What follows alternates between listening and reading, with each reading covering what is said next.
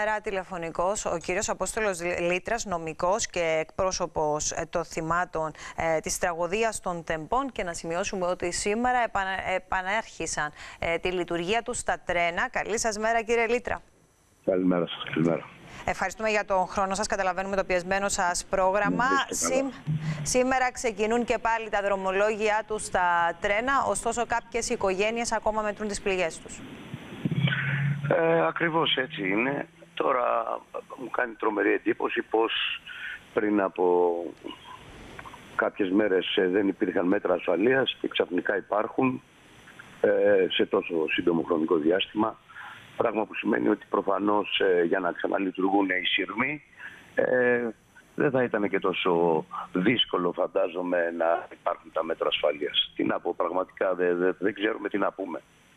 Οι, οι έρευνες συνεχίζονται, προσπαθεί να βρεθεί οι, που, ποιοι έφτεξαν, πού έγιναν τα λάθη και κάποια άτομα βρίσκονται ενώπιον δικαστηρίου.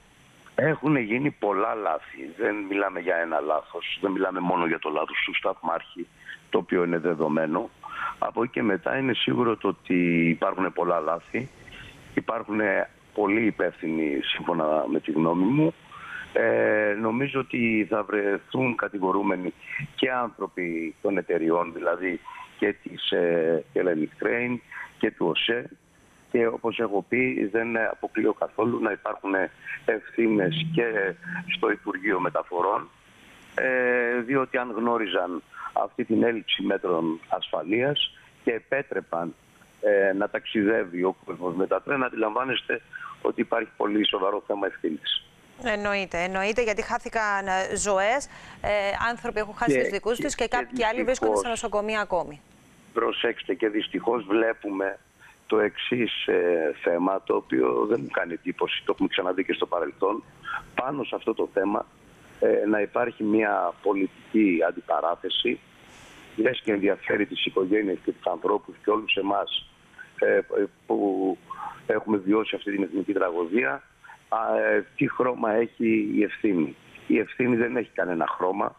Ε, φταίνε πραγματικά πολύ και διαχρονικά για αυτά που συμβαίνουν. Και ο κόσμος που παρακολουθεί αυτές τις αντιπαραθέσεις γύρω από αυτό το θέμα, το μόνο που τους δημιουργεί είναι θυμός και οργή.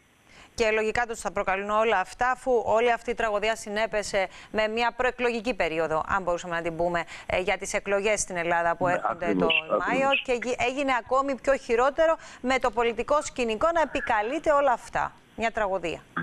Έτσι, ακριβώς. Σήμερα το τι γίνεται με, τους, ε, με τα θύματα; Με την Κοιτάξτε, τα θύματα, οι οικογένειες των θυμάτων είναι σε τραγική κατάσταση και θα είναι για πάρα πάρα πάρα πολλά χρόνια. Νομίζω ότι όταν ένας άνθρωπος ε, χάνει το παιδί του, κακά τα ψέματα, ε, είναι από αυτά τα, τα πράγματα που δεν πρόκειται ποτέ να επανέλθουν. Δεν, θα επανέλθουν αυτοί οι άνθρωποι ποτέ σε μια κανονικότητα. Ε, δεν, δεν υπάρχουν λόγια. Εγώ δηλαδή που μιλάω μαζί τους, πραγματικά δεν υπάρχουν λόγια. Το τελευταίο που τους ενδιαφέρει βέβαια να ξέρετε ότι είναι ε, τα θέματα των δικαστηρίων. Ναι δεν ασχολείται κανένας με αυτό. Ε, απλά περιμένουν όλοι μια απάντηση ε, να δούνε ακριβώς τι συνέβη και όπως είπε χαρακτηριστικά και ένας γονιός έστειλε το παιδί του χαμογελαστό μέσα στο τρένο για να πάει στο πανεπιστήμιο και το φέρανε σε ένα κουτί. Δυστυχώς και οι περιπτώσεις πάρα πολλές. Άτομα τα οποία θα κουβαλούν ακόμα και τα όσα είδαν. Μπορεί να σώθει και η ζωή τους. Ωστόσο. τα... Να σας πω, να σας πω ένα παράδειγμα μόνο. Ε, δέχτηκα ένα τηλέφωνο από μια οικογένεια που το παιδί τους ήταν στο έκτο βαγόνι, το οποίο δεν τραυματίστηκε καθόλου. Παρόλα αυτά, με το που βγήκε από το έκτο βαγόνι και είδε αυτό που συνέβη, το παιδί αυτή τη στιγμή αντιμετωπίζει πάρα πολλά ψυχολογικά προβλήματα, αρνείται να πάει στο πανεπιστήμιο να συνεχίσει, δεν βγαίνει από το σπίτι, Αντιλαμβάνεστε λοιπόν ότι εκτός από τους ε, σοβαρά τραυματισμένους ε, τα θύματα έχουμε και πάρα πολλούς ανθρώπους που βιώνουν τέτοιες καταστάσεις από αυτά που είδαν, έτσι, παιδιά 18 χρονών. Εννοείται, ανθρώπου νους δεν μπορεί να χωρέσει τι είναι αυτό που αντίκρισαν και έζησαν κατά τη σύγκρουση και όλη αυτή η αίσθηση του αγνώστου ε, που βίωσαν με ανθρώπους τραυματισμένους και όλο, ναι, όλο τον παρζουλισμός που επικράτησε κατά τη διάρκεια της, ε, της σύγκρουσης και της τραγωδίας ε, αυτής. Είχαμε τη Hellenic Train, η οποία ναι μεν δηλώνει ότι δεν αποδεχόμαστε ευθύνες, την ίδια ώρα να βγαίνει και να διαλαλεί για τα ποσά τα οποία θα δώσει για τις αποζημιώσεις. Κοιτάξτε, υπάρχει μια ευρωπαϊκή οδηγία που η εταιρεία είναι υποχρεωμένη να αποζημιώσει. Γι' αυτό και καταβάλει το ποσό των 42.000 ευρώ στις οικογένειες των θυμάτων. Ε, εγώ αυτό που έχω πει είναι ότι όταν παραλάβουν τα χρήματα να μην υπογράψουν ε, κάτι το οποίο ε, θα δημιουργήσει πρόβλημα όπως το να παρετηθούν από οποιοδήποτε δικαίωμά τους. Ναι, γιατί αυτή η υπόθεση δεν κλείνει αν δεν αποδοθούν ευθύνες και δεν βρεθούν όλοι οι υπέτειοι αυτής της τραγωδίας. Σωστά; Ακριβώς, ακριβώς.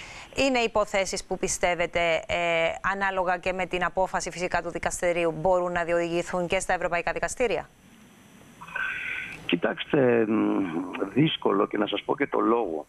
Ε, έχουμε και άλλες περιπτώσεις ε, που τέτοιου είδου δικαστήρια όπως και στην περίπτωση της ε, υπόθεσης με την πυρκαγιά στο μάτι ναι. ε, εκδικάζονται. Το θέμα είναι οι ευθύνες να αποδοθούν εκεί που πρέπει γιατί μετά το, το Ευρωπαϊκό Δικαστήριο δεν μπορεί να, να αποδώσει άλλου ευθύνες. Κατανοητό. Το ρώτησα αυτό λόγω και της ε, κλίση της Ευρώπης, του Ευρωπαϊκού Δικαστηρίου, λόγω της κατάστασης των σιδηροδρόμων στην Ελλάδα.